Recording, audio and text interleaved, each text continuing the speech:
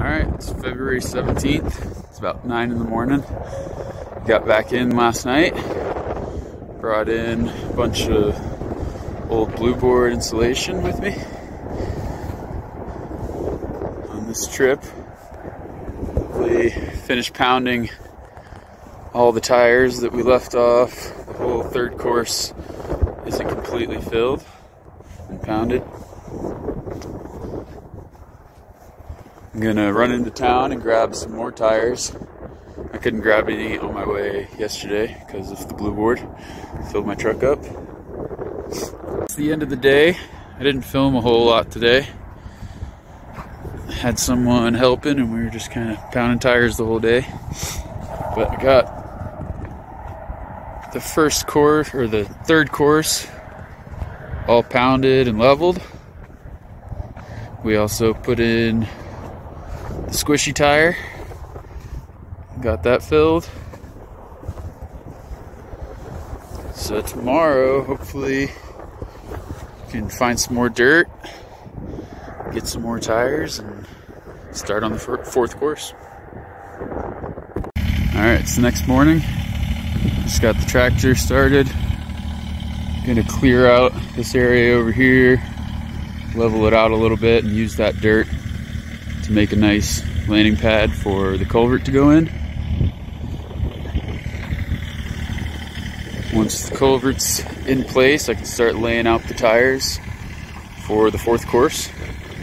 I have a stack of tires over there, but I think I'll have to run into town again and get another round of tires and throw some cardboard in and start filling them. All right, got the whole fourth course all laid out.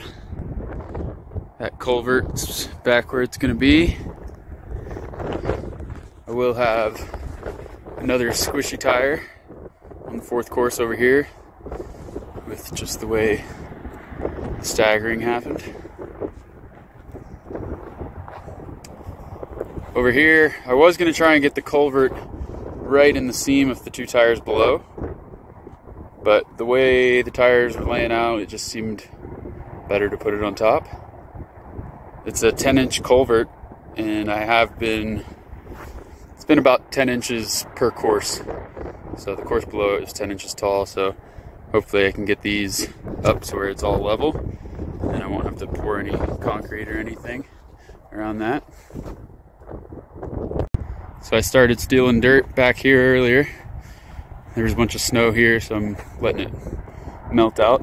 Finally warmed up a little bit. So once this all melts out, I can get some more dirt from here and start filling in underneath and around the cooling tube and then that back berm as well. You can see I've got level on. Let's see. So it's sloping away from the building so that any water ends up in there. It'll just drain out away. So I'm just working on this cooling tube getting it backfilled. And I've been going, adding six inches, eight inches of dirt, and then pounding it down with a sledgehammer to compact it. I want to make sure that it's not going to settle.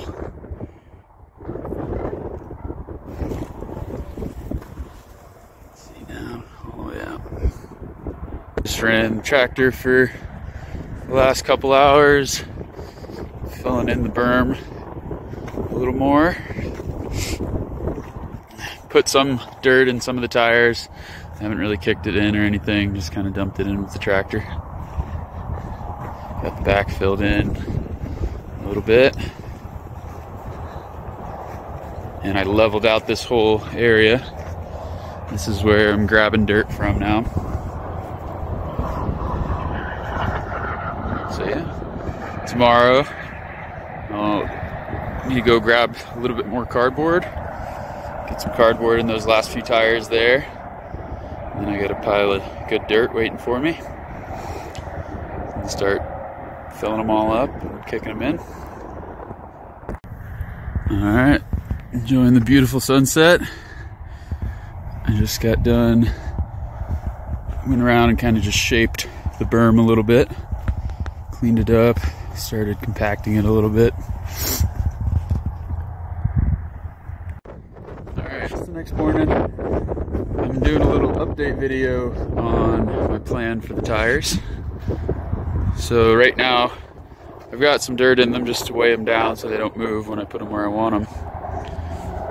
But the way I'm doing it, I was doing one inch back per course on every course, but I was reviewing some plans on the Earthship app, and it looks like the new Unity model that they're doing, the back curve wall is just vertical. There's no batter at all. So I think I'm gonna stick with that. So those tires will just be on the same plane all the way up. And then it from the end of the circle, about right here, it tapers out to an inch and a half taper per course. So this tire here will be in line with the tires below it. And then the taper gradually get bigger until you get over to the end there. The way I'm doing that, I've got this, I set this tire plumb to the tires below it. So that tire will be where it is. And then this tire, this first tire over here, I set back to batter it. I've pulled the tires in between away from where they're gonna be so I could run this string line. And instead of trying to figure out the taper for every single tire, I can just butt these ones up to this string and that should taper the batter all the way back.